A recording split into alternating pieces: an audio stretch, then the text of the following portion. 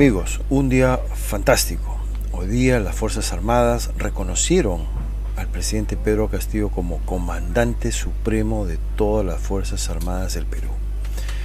Yo entiendo que para muchos haya sido un shock, para muchos peruanos, sobre todo militares, pues que tienen prejuicios por su formación o su deformación o su falta de cultura, sea como sea, eh, debe haber sido un shock muy grande. Tener como comandante supremo, jefe de ellos, a un humilde profesor rural de primaria, campesino, y que además usa sombrero. Yo entiendo que para muchos eso será un insulto incluso, pero es momento de reconocer que la valía del ser humano no está en la forma como se viste, ni en la forma como uno habla, sino en lo que uno es. El ser, pues, se pone de relieve frente al tener o el aparentar. Soy Wilmer Domínguez Remar y acompáñame el día de hoy para juntos ver ese emocionante momento en el cual las Fuerzas Armadas reconocen como comandante supremo al nuevo presidente del Perú, el profesor Pedro Castillo Terrones. Y por cierto, si te gusta lo que vas a ver, no olvides suscribirte. Así es amigos, ahí está, el presidente pasando revista a los distintos destacamentos en Palacio de Gobierno. El artículo 175, la finalidad de las Fuerzas Armadas están por el Ejército, la Marina de Guerra y la Fuerza Aérea tienen como finalidad primordial garantizar la independencia, la soberanía y la integridad territorial de la República. Asumen el control del orden en conformidad con el artículo 137 de la Constitución. En el caso de la Policía Nacional, el artículo 136 establece que tiene por finalidad fundamental garantizar, mantener y restablecer el orden interno, presta protección y ayuda a las personas y a la comunidad, garantiza el cumplimiento de las leyes, del patrimonio público y privado, previene, investiga y combate la delincuencia, vigila y controla las fronteras. Estas instituciones, tanto las Fuerzas Armadas. Se escuchan salvas de fondo amigos, son disparos, es el protocolo y ahí se acerca ya al momento, se van a hacer los honores por supuesto, se van a también a, como en todo acto oficial, cantar el himno nacional. Y organizar, distribuir y disponer el empleo de las Fuerzas Armadas y la Policía Nacional. Permiso, señor presidente, para dar inicio a la ceremonia.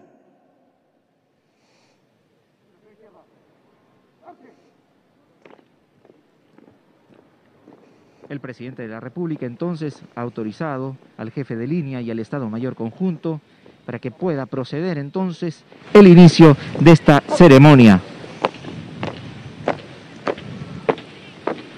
Vemos en el estrado de honor que las altas autoridades acompañan al jefe de Estado, está el flamante jefe del Comando Conjunto de las Fuerzas Armadas, el general del Ejército Manuel Gómez de la Torre Araníbar, el comandante general del Ejército, general José Alberto Vizcarra, el comandante general de la Marina de Guerra, almirante Alberto Alcalá, el comandante general de la Fuerza Aérea, Jorge Chaparro Pinto, y el comandante general de la Policía Nacional, César Cervantes. Señoras y señores, muy buenos días. En el patio de honor de Palacio de Gobierno damos inicio a la ceremonia de reconocimiento del señor presidente constitucional de la República, Pedro Castillo Terrones, como jefe supremo de las Fuerzas Armadas y la Policía Nacional del Perú. Acto seguido, entonaremos las sagradas notas de nuestro himno nacional. Presente.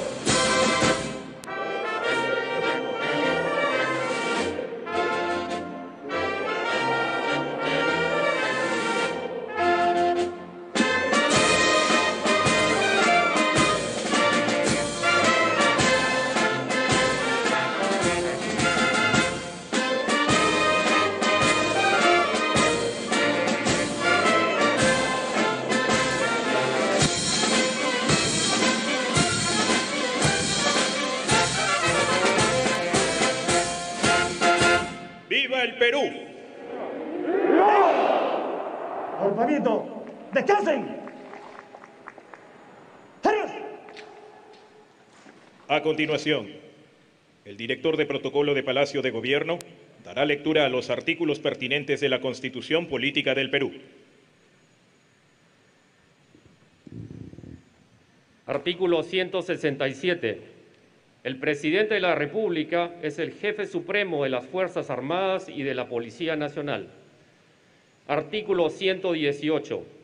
Atribuciones del presidente de la República. Corresponde al presidente de la República, inciso 14, presidir el sistema de defensa nacional y organizar, distribuir y disponer el empleo de las Fuerzas Armadas y de la Policía Nacional.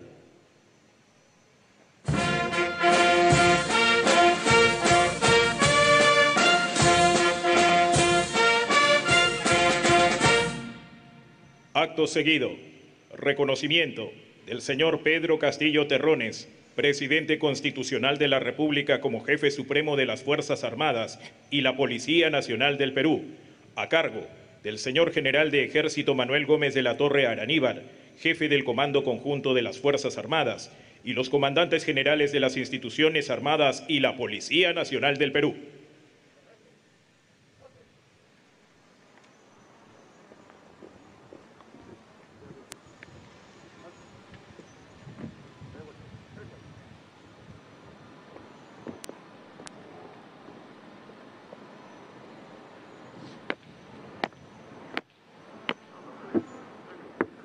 Continuación, el jefe del Comando Conjunto de las Fuerzas Armadas, el general del Ejército Peruano Manuel Gómez de la Torre Araníbar, hará la entrega del bastón de mando al presidente constitucional de la República, Pedro Castillo. De la República del Perú.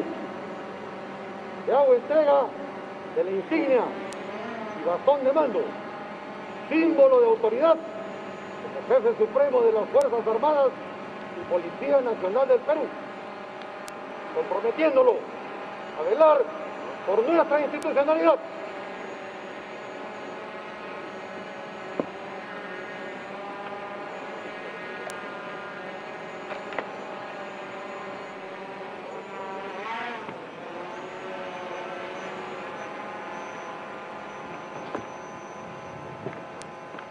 Señor Presidente Constitucional de la República, las Fuerzas Armadas Policía Nacional del Perú, nos comprometemos a continuar trabajando con esfuerzo y dedicación por la seguridad y el desarrollo de nuestro amado Perú.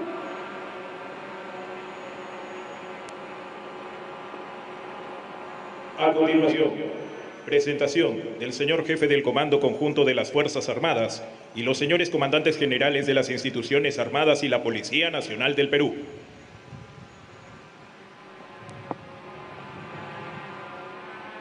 General de Ejército, Manuel Gómez de la Torre Araníbar, jefe del Comando Conjunto de las Fuerzas Armadas del Perú.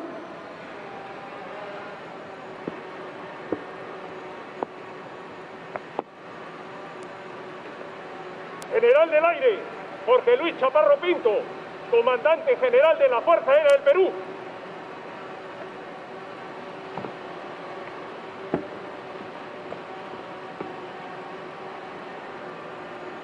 General de Ejército, José Alberto Vizcarra Álvarez, Comandante General del Ejército del Perú.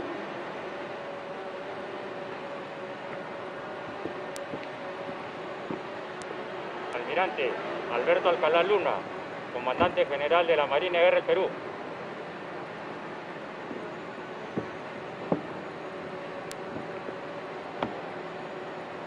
General de Policía, César Augusto Cervantes Cárdenas, Comandante General de la Policía Nacional del Perú.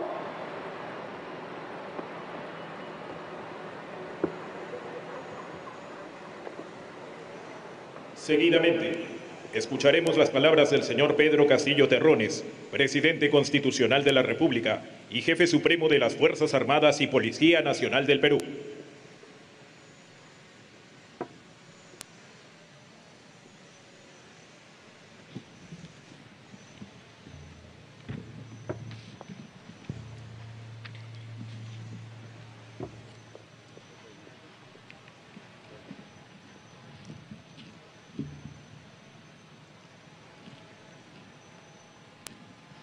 Señor ministro de Defensa Walter Ayala González, señor ministro del Interior Juan Carrasco Millones, señor jefe del Comando Conjunto de las Fuerzas Armadas, general del Ejército Manuel Gómez de la Torre, señor, señores comandantes generales de las Fuerzas Armadas y de la Policía Nacional del Perú, señores oficiales, generales y almirantes, señoras y señores. ¡De queso! El pueblo peruano reconoce la labor que históricamente ha realizado las Fuerzas Armadas y la Policía Nacional en defensa de la integridad de nuestro territorio y el orden interno, protegiendo a nuestra nación ante cualquier peligro, preservando el principio de la libre determinación de los pueblos, la defensa de los derechos humanos y la no intervención en asuntos externos. Como presidente de la República, pero sobre todo como hombre del Perú profundo, conocedor de las necesidades históricas de nuestras hermanas y hermanos de todos los rincones de la patria, quiero rendir homenaje a los valerosos peruanos que dieron su vida en Junín y Ayacucho para lograr la independencia del Perú y de América. Nuestras Fuerzas Armadas han intervenido en la defensa de nuestros límites, en las acciones de integración con los pueblos alejados de nuestra patria, en la lucha contra el terrorismo, en las acciones de rescate y ayuda humanitaria ante los diversos fenómenos naturales que suelen afectar a nuestra población, como recientemente en el sismo que afectó al norte del país. Hoy, nuestra Fuerza Armada y Policía Nacional enfrenta uno de los desafíos más graves de nuestra historia, como consecuencia de la pandemia causada por el COVID-19.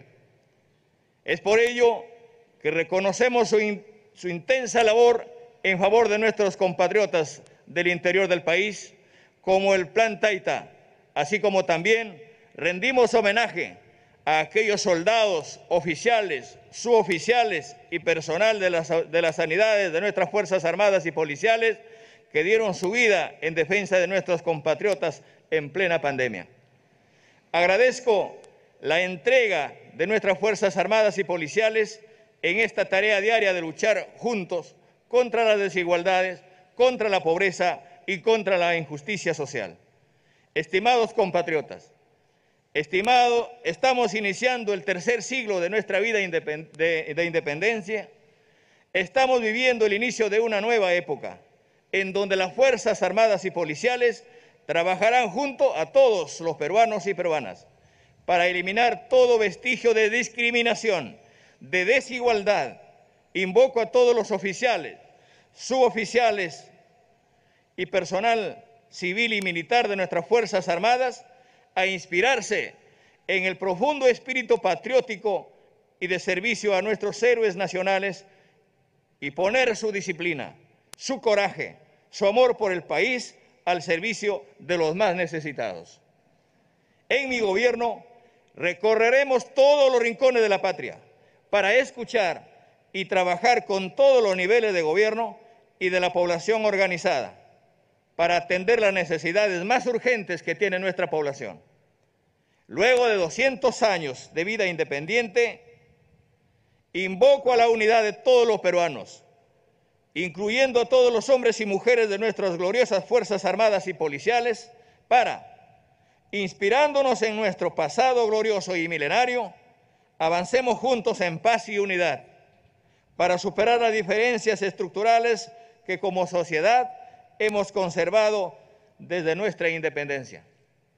Los invoco también a que todos escuchemos las voces de los peruanos y peruanas más necesitados las voces de nuestras comunidades indígenas, de las comunidades campesinas, de los trabajadores informales, de las familias más pobres, de los desamparados y desocupados, de los enfermos, de nuestros ancianos, de los discapacitados, de los minusválidos, que día a día luchan por sobrevivir en condiciones sociales y económicas difíciles para salir de la grave crisis sanitaria que afecta a los más vulnerables del Perú. Tal como lo mencioné en mi mensaje del 28 de julio, mi gobierno del cambio ha llegado para gobernar con el pueblo y para el pueblo, lo que se expresará también en la política de defensa de nuestros intereses como nación y en el cual el papel de nuestras Fuerzas Armadas es muy importante para lograr la salida de la crisis económica, apoyando en el fortalecimiento de nuestra agenda social de los, de los pueblos. Señor jefe del Comando Conjunto de las Fuerzas Armadas y Policiales, señoras y señores, miembros de nuestras Fuerzas Armadas y Policiales, los animo a mantener viva la mística que ha caracterizado a las mujeres y hombres que han forjado la historia de nuestra patria y trabajar junto con todo el pueblo peruano para lograr un Perú más inclusivo, más tolerante, que a partir de nuestras diversas visiones sepa construir un futuro más digno, más solidario, más humano para todos y todos los peruanos. Muchas gracias. Vive el Perú.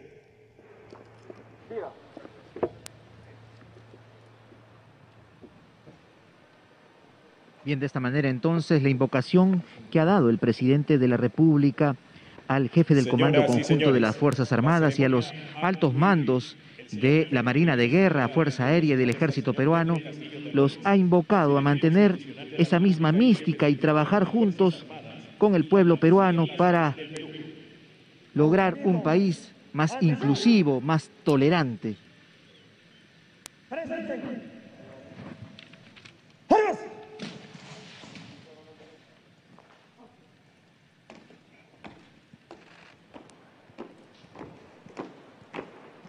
De esta manera también el mandatario ha dado a conocer que su gobierno será para el pueblo, según lo ha señalado. También a los altos mandos de las Fuerzas Armadas y la Policía Nacional los ha invocado a escuchar las voces de las comunidades, de los pueblos campesinos, de las personas discapacitadas, de los enfermos, escuchar estas voces y los ha animado a realizar el mejor trabajo para enfrentar esta crisis sanitaria que viene afectando a los más vulnerables de nuestro país. Presidente, la ceremonia ha terminado. Os invito a despedirse de la bandera de guerra. El jefe de brigada entonces, general del ejército Francisco Costa Gallegos, director de la Escuela Militar jefe de línea para esta actividad, lo ha invitado al mandatario a despedirse de la bandera de guerra. El presidente de la República está acompañado por el ministro de Defensa y por el titular de la cartera del Interior en esta ceremonia, donde ha sido reconocido como jefe supremo de las Fuerzas Armadas y la Policía Nacional vemos al mandatario que lleva el bastón de mando sin este cargo de jefe supremo de las fuerzas que ha recibido hoy de manos del jefe del comando conjunto de las fuerzas armadas, el general del ejército Manuel Gómez de la Torre Araníbar. Mediante resoluciones supremas firmadas precisamente por el presidente de la República, Pedro Terrones, y refrendada por el Ministerio de Defensa, Walter Ayala, el Poder Ejecutivo ha nombrado entonces el nuevo jefe del Comando Conjunto de las Fuerzas Armadas y a los nuevos comandantes generales del Ejército, Marina de Guerra y Fuerza Aérea del Perú. Ya han sido publicadas en el diario oficial El Peruano. entonces ha sido reconocido el mandatario como jefe supremo de las Fuerzas Armadas y la Policía Nacional. Con estas imágenes damos pase a estudios centrales, continuando con la programación habitual de TV Perú. En México, un gran ejemplo de cómo un presidente democrático, surgido del pueblo, puede hacer la diferencia. El ejército de México, gracias a los ingenieros militares, se ha convertido en el principal motor del desarrollo de México, construyendo el nuevo aeropuerto internacional de México, ahorrándose cientos de millones de dólares, justamente porque el ejército pues no es una entidad lucrativa. Si se hubiese encargado ese aeropuerto a una empresa privada, los millones que se lleva de ganancia, pues ahora se los ahorra el gobierno mexicano. Exactamente igual debe hacer el presidente del Perú, con el nuevo rol que deben jugar las Fuerzas Armadas en tiempos de paz. En tiempos de paz las Fuerzas Armadas deben ponerse al servicio del desarrollo del país, no al servicio de la represión, persiguiendo a los pobladores porque piensan distinto, sino convertirse en motores del desarrollo. Así es como México está saliendo adelante y se está convirtiendo en un verdadero ejemplo mundial de cómo realizar una gran transformación sin caer en populismo, sin caer en comunismo, sin caer en ninguno de esos eh, de esas ideologías ya trasnochadas, pasadas de moda. Así que eh, esperamos que el nuevo presidente del Perú también asuma ese nuevo rol para las Fuerzas Armadas y las convierta en un estandarte de su gran transformación que ha iniciado. Otro de los elementos fundamentales es de que también en las Fuerzas Armadas se tiene que realizar una gran limpieza. Hay muchos elementos corruptos en esas fuerzas. Lo vemos en los casos del combustible, lo vemos incluso en zonas donde hay narcotráfico y donde los comandantes de esas zonas, en lugar de combatir el narcotráfico, lo que hacen es pues cobrar su comisión y dejar que esas mafias sigan traficando impunemente. También el control de las fronteras, de las aduanas, tiene que cambiarse completamente para realmente verificar de que el tráfico ilícito, el crimen organizado ya no campa a sus anchas. El gran problema del Perú, como la inmensa mayoría de países, se llama corrupción. Y la corrupción cuando llega a la política se convierte en la peor lacra social. No importa si son de derecha, no importa si son de izquierda, los partidos que se corrompen acaban todos en el mismo saco.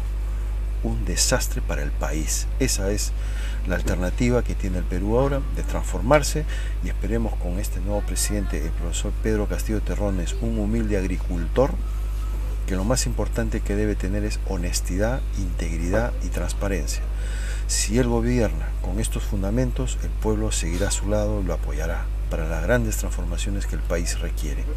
Asimismo, queremos felicitar al nuevo primer ministro del Perú, el ingeniero Guido Bellido, quien ha demostrado una extraordinaria fortaleza, una solvencia fuera de toda dudas y está sabiendo presentar sus propuestas de este nuevo gabinete de una manera totalmente solvente, ecuánime y sensata. Y ante los ataques de la prensa basura, la prensa corrupta, pues ya sabemos que lo lo que se tiene que hacer es que la prensa se regula con la prensa y son a partir de ahora los medios alternativos como este canal Inti Noticias los que entramos a competir directamente en audiencia con los grandes monstruos corporativos porque ahora la gente ha dejado de ver la televisión. Se han dado cuenta que la prensa en la televisión lo único que hace es engañarles, mentirles, manipularles y ahora todo el mundo se está pasando a las redes sociales.